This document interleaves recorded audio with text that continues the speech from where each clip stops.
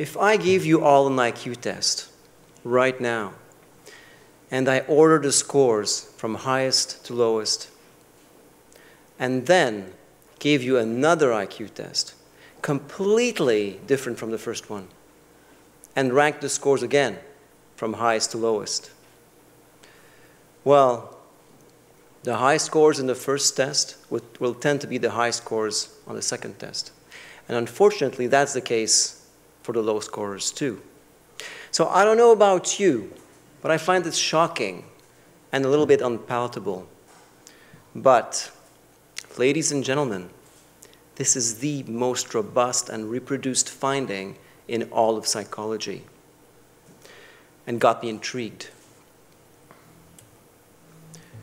The other thing that I know is that both genes and environment influence brain development and can have an, an impact on cognition, cognitive ability, and IQ.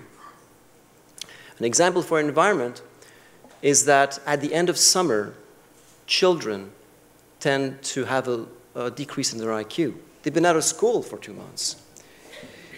Now, I'm going to give you a metaphor that kind of ties all of these things together. Imagine a circular elastic. It's a brain. And you can stretch this elastic. Some people have an elastic that is easier to stretch than others. And the way to stretch the elastic is with environmental stimulation, intellectual stimulation.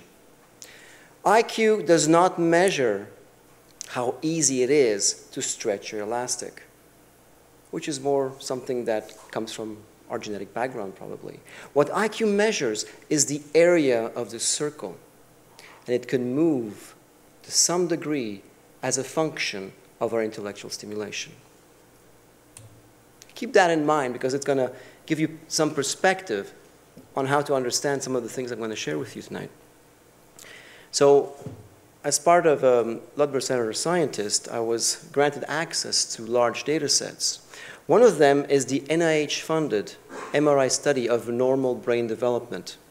These are children aged from 4 to 22 that came to the NIH every two years, had an IQ test and a brain MRI. The second cohort is the Lothian birth cohort of 1936. So picture this. We're in 1947, and the Scottish government decides to IQ test all 11 year olds in the country. And the reason they did that is that they thought that their children were getting dumber. but it didn't pan out. They were not. Now, the beauty of this data set is that in their 70s, the survivors that were in Edinburgh were retested. And at ages 70, uh, 73, 76, and 79 were, had an MRI. Now, these data sets and others allowed us to find the following. The greater the volume of your brain is, the higher IQ tends to be.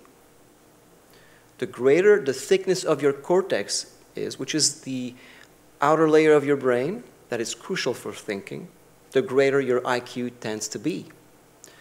The greater the quality of your myelin, which is the sheath that surrounds the wiring in your brain, the greater your IQ tends to be.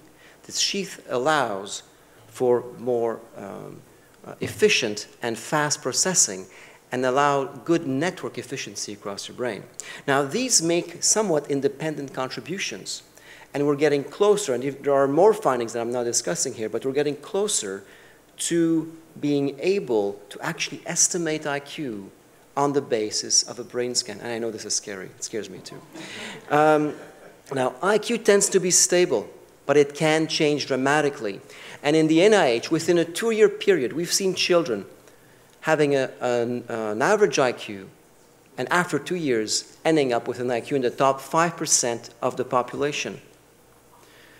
Um, another interesting finding is that IQ at 11 predicts brain structure 60 years down the road. Six zero. Now, this might give you the impression that things are fixed. They are not necessarily fixed. We can have an impact. So, a big question is how can we increase our chances of maintaining our intellect in old age? So, remember, we have IQ at 11, We have IQ at 70, 73, 76, 79, and we know what happened in between in terms of life habits. So this is what we found. People that exercise regularly tend to stay sharp in later life or increase their chances of staying sharp later in life. People that get regular medical checkups that could detect diabetes or high blood pressure also tend to increase their chance of remaining sharp later on in life.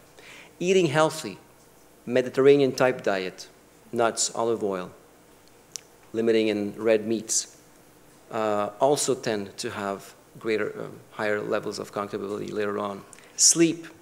People that sleep seven to eight hours a night are those that increase their chance of staying sharp later on. We tend to underestimate the impact of sleep. Don't smoke. We've noticed that the more you smoke, the more your cortex thins. This is somewhat reversible, but it's a very slow process. I had people that had been smoking for 20, 20 years or so, 20 packs, uh, 20 cigarettes a day. It took them roughly 20 years to catch up to the level of their age-matched peers. So it's a slow process. The earlier you stop, the better it is. Take up a new activity, like learning a new language, dance, exercise your brain in general. And something we should not underestimate is social connection. It's really surprising that there's a very strong link between being connected and talking to people, having people close to you, and longevity and maintaining your cognitive health later on in life. So my message to you is, it's never too late to start, but the earlier you do, the better it is. It's a way of life. There you go.